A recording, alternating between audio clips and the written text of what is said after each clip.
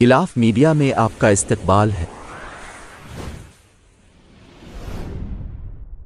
Delhi police ने 21 सितंबर को अशोक मार्ग पर अल इंडिया मजलिस इत्तेहादुल मुस्लिमीन के सदर असदवदीन ओवैसी की सरकारी घर पर हमला और तोड़फोड़ के मामले में पाँच लोगों को गिरफ़्तार किया गया। नई Delhi district deputy commissioner of police Deepak Yadav ने बताया कि असदवदीन ओवैसी के बंगले पर तोड़फोड़ के सिलसिले में पाँच लोगों को गिरफ़्तार किया गया है। उन्होंने कहा कि पुलिस को पीसीआर के ज़रिए मिस्टर ओवैसी के बंगले की तोड़फोड़ का पता चला।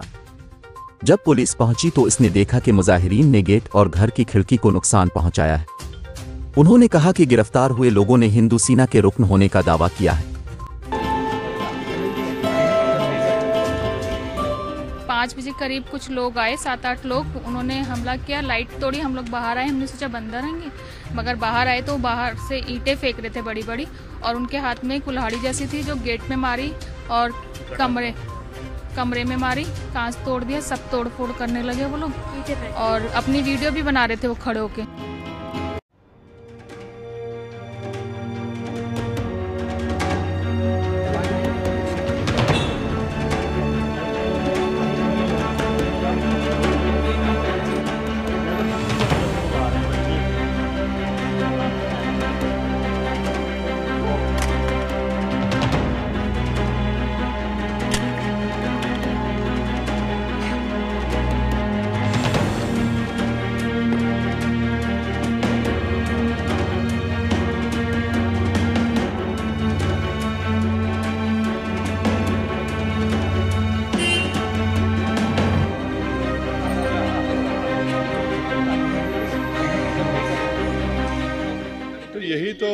रेडिकलाइज्ड हो चुके हैं लोग और इनके रेडिकलाइजेशन की ज़िम्मेदारी बीजेपी सरकार पर आती है।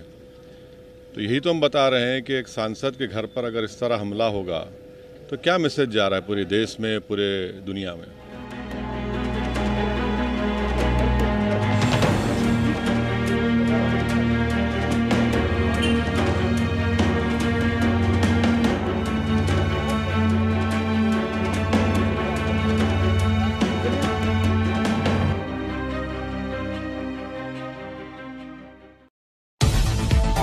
हैदराबाद के टोली चौकी नदीम कॉलोनी के करीब एक नौजवान के कत्ल की वारदात पेश आई।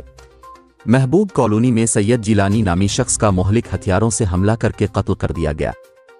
मरने वाले के रिश्तेदारों ने इल्ज़ाम आयद किया कि कत्ल की ये वारदात में इमरान नामी शख्स शामिल है और इसी ने ही कत्ल करवाया है।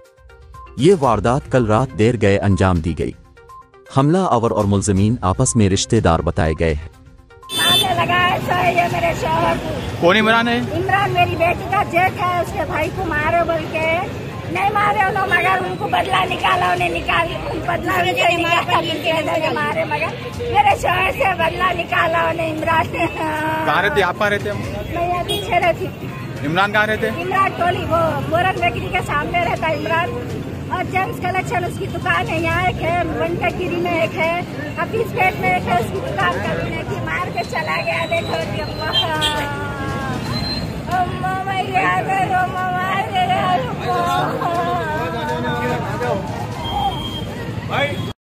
The Times Watch and Mobiles Sales and Service.